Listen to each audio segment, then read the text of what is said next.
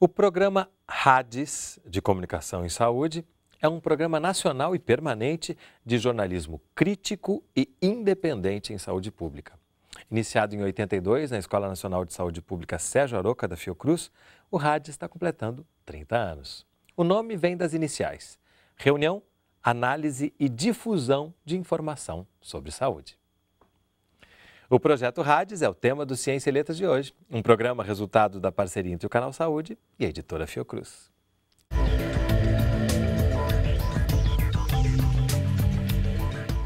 Conversam comigo no estúdio do Canal Saúde Rogério Lanes Rocha, jornalista, coordenador do Rádios, e Ana Paula Brandão, coordenadora de projetos do Canal Futura e historiadora, ambos mestres em comunicação e cultura. Sejam bem-vindos. Obrigado. Rogério, 25 anos trabalhando num projeto que agora completa 30 anos, né? E 25 anos que foram fundamentais para a história da saúde pública. E a gente está falando de um veículo de comunicação e saúde. Nesse tempo, está mais fácil compreender essa ligação para ambas as áreas? A comunicação está se entendendo melhor com a saúde, a saúde está se entendendo melhor com a comunicação? Eu acho que sim, e Parte desse processo se deve à própria história do Rádios, do Canal Saúde, da Vídeo Saúde e de outros projetos que ah, na década de 80 tinham uma dificuldade eh, de serem vistos como uma linguagem própria, um espaço próprio de interlocução. Né? Ainda eram vistos como é, só uma forma de traduzir o que a academia e a pesquisa pensavam e faziam. Ao longo desses anos a gente trabalhou muito, fez muito isso, divulgar, difundir, mas é, refletiu também sobre essa prática e, junto com o pessoal da saúde, é, foi possível ir constituindo um campo de comunicação em saúde, em que você é, percebe que a comunicação, ela em si promove saúde. Uhum. Ela não é só um, um momento final de divulgar alguma coisa. Ana Paula, no futuro também há essa preocupação de que a saúde seja um tema que, que permeie os conteúdos o tempo todo? Com certeza. É, há mais ou menos uns quatro anos a gente tem preparado um material específico sobre esse tema, é, chama, dentro de um projeto maior que se chama Projeto Maleta Futura. Então a gente, a gente é, fomos, construímos uma maleta que se chama Maleta Saúde, com parceria com a Fiocruz também. E esse material é um material de divulgação, é, de informação, mas também de comunicação e de formação.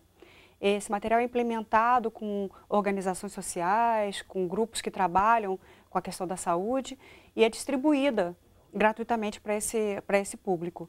E a parceria com, com a Fiocruz foi fundamental.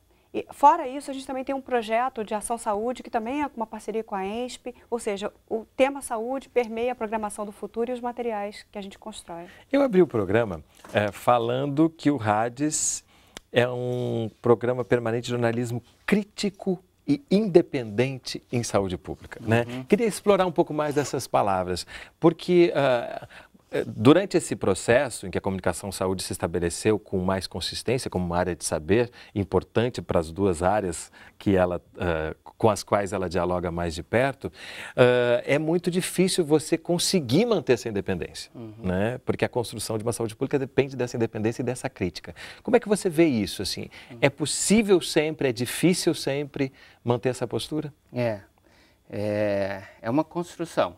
É, como em tudo na sociedade, é um, um, um jogo de, de, de, posições, né, de hegemonia, uma disputa de poder simbólico.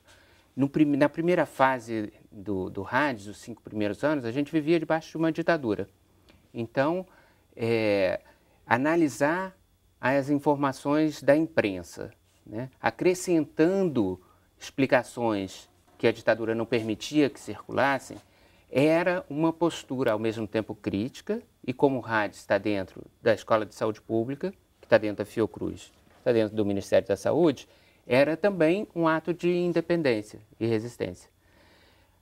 Depois, é, além de é, dar voz e, e, e, defender os princípios da reforma sanitária, é, atuar muito na Constituição, né, na, na Constituinte, né, é, promovendo o debate. Então, ele era é, independente no sentido de é, ser um espaço em que sociedade civil e governo debatiam as questões que depois constituíram aquele capítulo da Seguridade Social na, Constituição. E não um veículo, por exemplo, de difusão do pensamento do governo ou da academia simplesmente. E de lá para cá, nesses é, duas décadas de SUS, ele é muito envolvido na própria construção do SUS, né, as publicações do RAD. Onde as disputas Mas, de poder seguem né, na, na, própria construção do sistema. Porque ele foi pensado né? em 88 como é, algo moderno, do estado de bem-estar social e etc., que a seguir com o neoliberalismo econômico, saiu de moda. A gente tem uma Constituição que ela passou duas décadas sendo bombardeada pelos próprios governos e tal. Então, ele é, muitas vezes é, fazia a crítica a posturas do próprio governo, promovendo o debate. Cada segmento da sociedade e tal se manifestava. Né? A independência não quer dizer uma autonomia, né? mas é assegurar que, é, numa publicação é, feita dentro de uma instituição que pertence ao SUS, você tenha pontos de vista contrários, inclusive do que for a orientação é, do próprio Ministério da Saúde, etc. Ah, eu acho que é fundamental a gente eh, distanciar duas coisas, né? A, a, mídia, de um modo geral, né, aberta, broadcast, televisão, jornal, e esses veículos de comunicação e de informação especializados como o rádio. Porque uh, o que se vê nos grandes veículos de comunicação é uma informação que é completamente pontual e sempre é, do, do diferente, do exótico, do que seja notícia, né? Ou seja, vale muito mais a pena você mostrar um paciente morrendo numa fila, não e discutir os grandes problemas mesmo da saúde, não do ponto de vista da, da falta, né, mas da possibilidade. Então, veículos como o Rádios é, é o que dá a possibilidade de um debate mais é, consistente, é, mais dialógico, né, chamando outros pares para pensar isso, né, não da, daquele ponto de vista da, da informação vir de cima para baixo. Uhum. Né? Ela é um espaço de mediação muito importante. E que muitas vezes tem que desconstruir ideias Exatamente. que são lançadas por esse outro, uh, esse mídia outro comercial. ator, que é, é, a mídia comercial, né? É. Que muitas vezes com essa ânsia de trazer algo que seja mais espetacular, acaba fazendo um desserviço à construção exatamente, do nosso sistema, né? exatamente. né? E um sistema que é tão moderno, né? Eu acho que o Rogério disse muito bem. Ficamos 20 anos detonando essa constituinte cidadã, né? Essa estrutura que a gente montou, que é revolucionário para o seu período e agora volta-se a pensar e ver como ela é significativa. Né? Outros países vêm beber nessa fonte, né? voltou à moda o estado de bem-estar social. Né? Outras áreas dentro do Exatamente. próprio país Exatamente. olham para a saúde como um exemplo também para seguir. Né? Exatamente. Então a gente tem é, que agora é, retomar o debate e trazê-lo com mais, ainda mais consistência e, e, pensar soluções desse mundo, desse equilíbrio. Né? Na verdade, não existe mais o estado de bem-estar social fechadinho e nem o neoliberalismo como a gente o conheceu. Né? A gente tem um, um meio caminho aí que a gente tem que achar. Eu queria é, recuperar a palavra isenção que você falou. É. É, associada à credibilidade. O que a gente tem observado no rádio, porque o retorno do, das cartas, e-mails, é impressionante, é muito grande. São 75 é, mil assinantes talvez quatro, cinco pessoas atrás de cada revista dessa, né? Leiam, dá quase 500 mil pessoas em cada cidade do país, né? É, e então a gente tem um retorno muito grande. A credibilidade nesses anos todos, ela veio menos por uma isenção do que por uma opção explícita é, em relação ao que, que a gente defende. Isso que é curioso, uhum. porque a, a, a a imprensa é, tradicional, ela no Brasil sempre se disse neutra é, e, e, e, e, isenta e é, imparcial, é. né? E às vezes alguns, algumas cartas, mas vocês não estão sendo parciais. E no, no editorial a gente vai fazer assim, nós não somos imparciais. É importante assim saber que quando a gente está falando do SUS, a gente está defendendo a construção do SUS. Então, por isso a gente mostra o que funciona e critica ele. A gente critica para que ele melhore, E isso que é, que é delicado, né? Porque isso não pode ser confundido com o que a gente estava falando antes, que é uma voz uh, oficial de um governo. Não se uhum. trata disso, e né? nem uma, um panfleto. Defender uma posição, por exemplo, é, contra é, o, o, o, agronegócio, o latifúndio, em defesa do, do, do, da pequena é, agricultura, do trabalhador do campo, não significa fazer um panfleto contra é trabalhar profundamente as informações, inclusive ouvindo várias partes, mas deixando claro que qual é o objetivo de mergulhar sobre esse tema.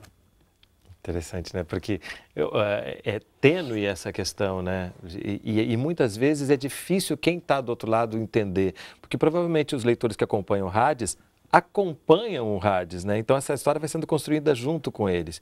E a gente não tem, creio eu, talvez ainda uma formação uh, da população geral para ser crítica com o que assiste.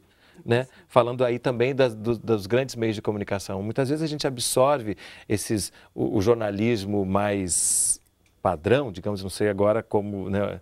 como se fossem verdades, né? Uhum. Esquecendo que essa isenção ela não existe em momento algum né? mesmo quando se veiculam notícias. É, e acho que também a gente padece, até nas escolas de comunicação, dessa ideia de que o jornalismo tem que ser imparcial. Né? Essa palavra ganhou uma neutro e imparcial.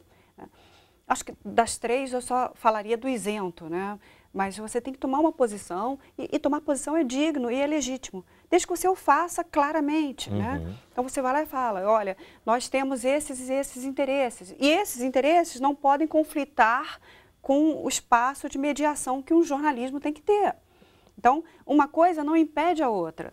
Né? Ou seja, o rádio tomar uma posição no seu editorial e dizer do que ele é a favor, não quer dizer que não tem espaço para o debate. Pelo uhum. contrário, ele é fortalecido.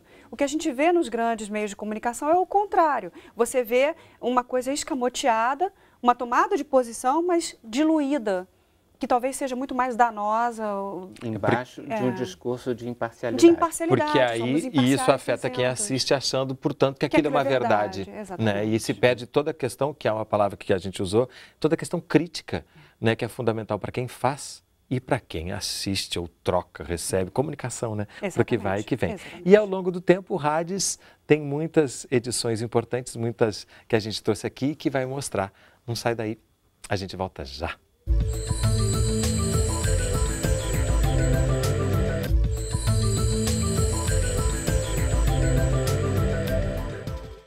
O Ciência e Letras está de volta, conversando sobre o projeto RADES de Comunicação e Saúde. Comigo, no estúdio do Canal Saúde, Rogério Lanis Rocha e Ana Paula Brandão.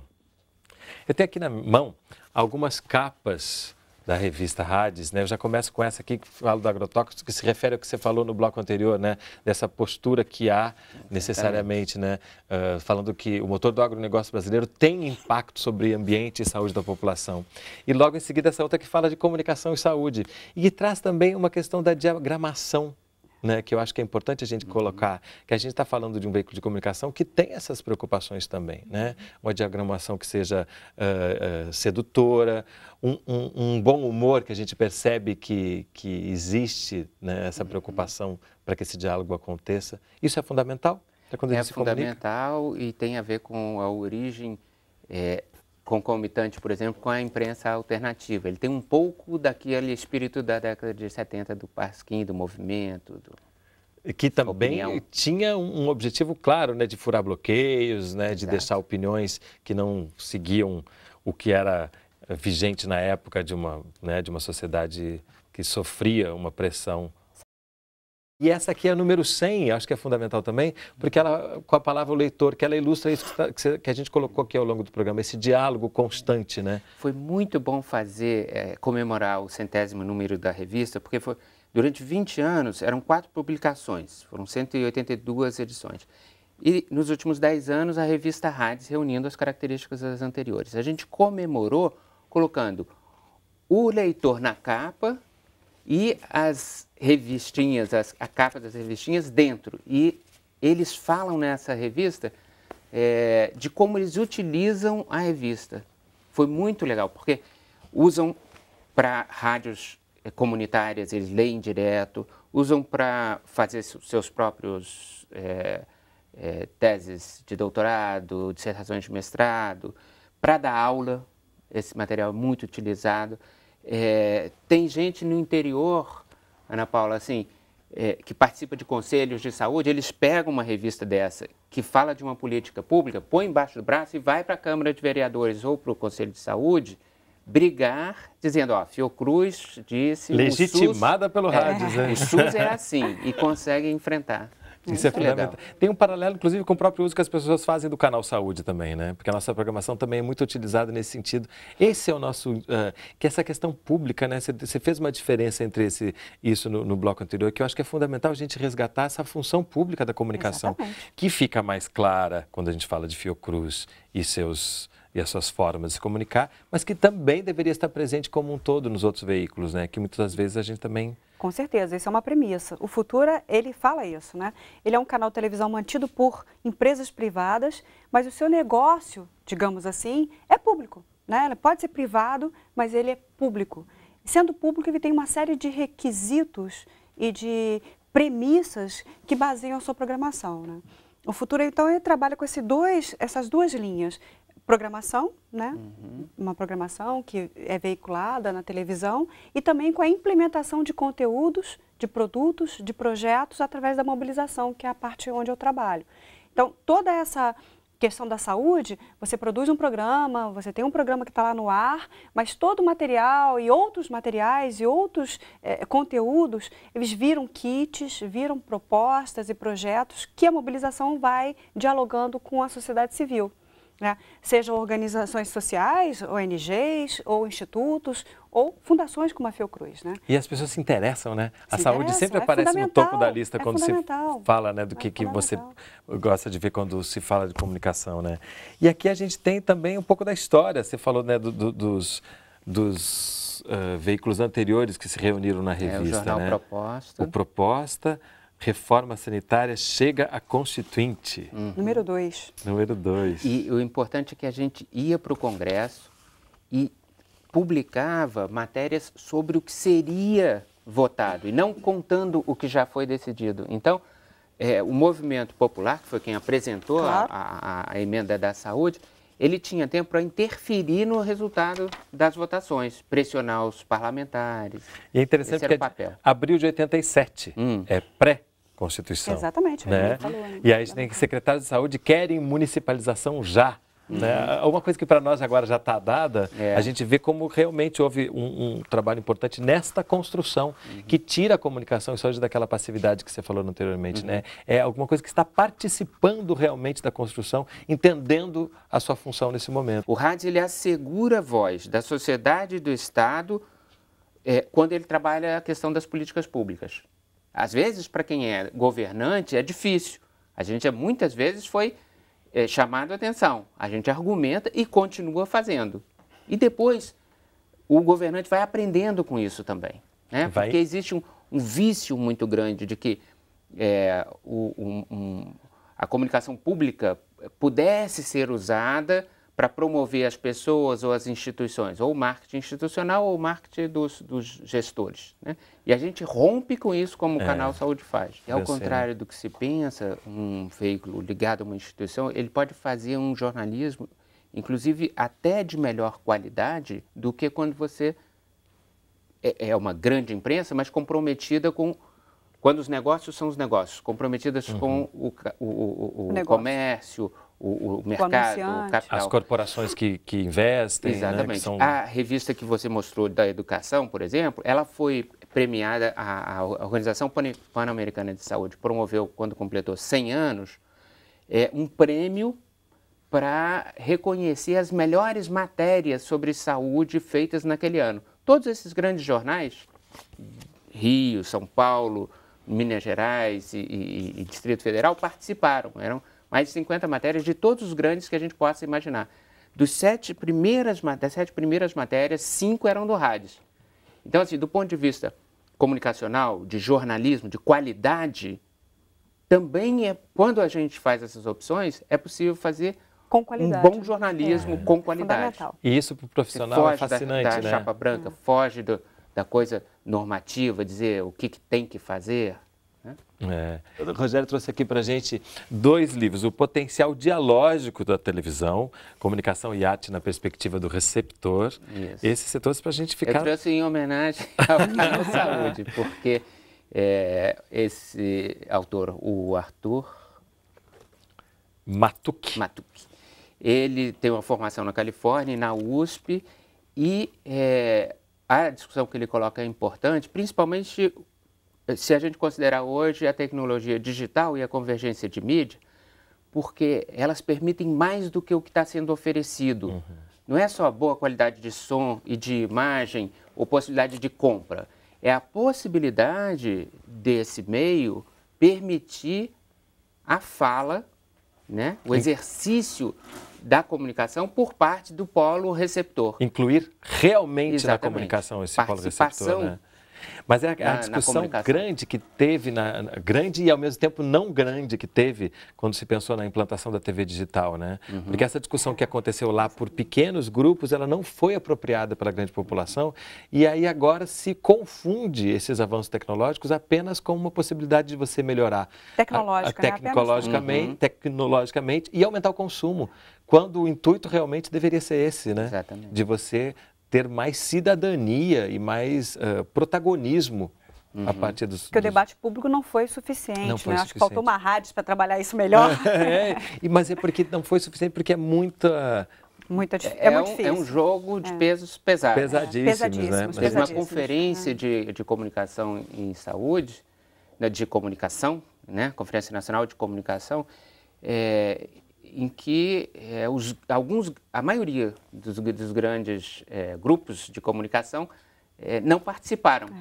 Né? Se isentaram. E passaram uma ideia de que ali estava se tentando um controle, uma censura, quando na verdade era uma participação da sociedade. E aí esse outro livro vem a calhar, Ética cidadania e imprensa, né, que são vários autores, é. autores aqui que falam Organizado justamente... pela professora Raquel Paiva, da, da UFRJ, tem Alberto Dines, muitos nomes conhecidos, mas eu destacaria, a propósito da nossa conversa aqui, o Morra Haji, que é um jornalista marroquino e professor de, de comunicação na UFRJ, que fala sobre o que você tinha dito, da formação do profissional e, e da função social que ele tem, profissional de imprensa. Por um jornalismo e, autorreflexivo, é, é o que ele escreveu. E o último texto é, do professor Muniz Sodré, que está comemorando esse ano 70 anos, tem eventos comemorativos da obra dele de universidades no Brasil e no exterior. Onde ele pergunta, existe consciência ética na imprensa? Que ele fala do, do, da função da imprensa e do papel da mídia na comunidade contemporânea. Né? Como é que ela administra a vida, inclusive a política, os costumes, como é que ela penetra nas redes sociais, né? e não apenas um quarto poder, a imprensa e a vida. Né? Como é que a mídia hoje em dia ela gerencia a vida da gente. Né? Então, a criticidade em relação a isso é essencial para cidadão e principalmente para um profissional de saúde ou comunicação. É, eu acho que é bom a gente terminar o programa agora, realmente, aquela primeira questão que eu fiz para você, né? É, 25 anos trabalhando num projeto de 30 anos, o quanto mudou? Mudou bastante, realmente. Hoje em dia a gente não vive mais sob uma ditadura militar, eu acho que isso é fundamental, uhum. mas existem outras pequenas ditaduras que a gente precisa ainda se livrar, né? Para que a gente tenha realmente uma comunicação cidadã, uh, e isso é uma construção assim como o Sistema Único de Saúde. Então, parabéns ao RADS, parabéns Obrigado. à Futura também, né, por essa contribuição, essa construção, essa construção da cidadania, que não é de uma hora para outra, a gente sabe, é um processo. Com certeza. Obrigado pela presença de vocês aqui conosco. O programa Ciência e Letras é resultado de uma parceria entre o Canal Saúde e a editora Fiocruz. Se você quiser entrar em contato conosco, mandar sua crítica ou sugestão de leitura, nosso telefone é 0800 701 8122. A gente se vê no próximo programa. Até lá! Para entrar em contato com a editora Fiocruz, acesse www.fiocruz.br/editora ou ligue para 21 3882 9007.